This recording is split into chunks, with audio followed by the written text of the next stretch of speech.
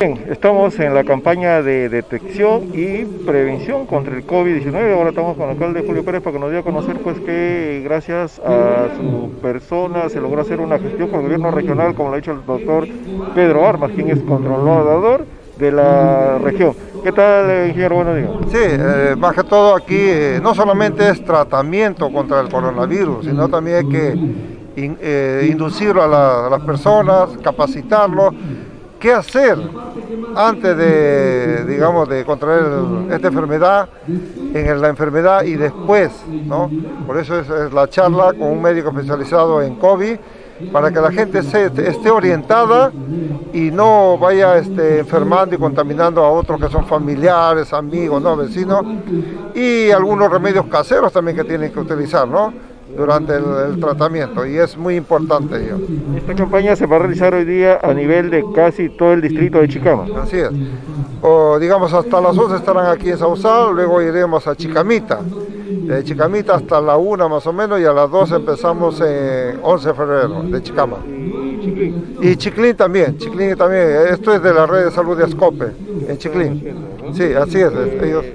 Alcalde, bueno, acá el señor Pedro Armas, que es el doctor, eh, nos acaba de hablar, nos dice pues que es lamentable que él ha coordinado con su persona, usted ha aceptado gustosamente, pero el alcalde del Centro Poblado de Sausal como que no eh, la tomó importancia. ¿Cómo ve eso usted? ¿Cuáles son esas, esas diferencias que existen este, entre autoridades? No, eh, mire, ve, no es diferencia de autoridades, sino diferencia de una autoridad. Nosotros tenemos que seguir trabajando, o sea, aquí no, no, no tenemos que estar en discordia ni nada, aquí tenemos que unirnos todos. Si el, alcalde del Centro Polar de Sabozal no quiere estar aquí, no quiere coordinar, no quiere incentivar que la gente pues se capacite y se cure, ya pues yo no puedo traerlo del bracito, ¿no? Para poder este, hacer lo que trabaje, ¿no? Ya depende de él y él puede decir todo lo que quiera, pero aquí tenemos que gestionar acá tenemos que trabajar y aquí no hay tintes políticos, ni de credo, ni de raza, nada. Acá todos queremos sobrevivir ante esta pandemia y es lo que buscamos, coordinar, gestionar, trabajar y que llegue a la población. Eh, bueno, eh, también importante eh, ahora usted como alcalde distrital viene haciendo todo este trabajo, ¿se seguirá coordinando con diferentes entidades de salud para poder seguir brindando la atención a toda la población? Por supuesto, nosotros seguimos con la red de salud de Ascope, aparte nosotros también hemos contratado médicos, enfermeras, que están haciendo un, monitoreo de casa en casa, los enfermos los vamos visitando, ¿no?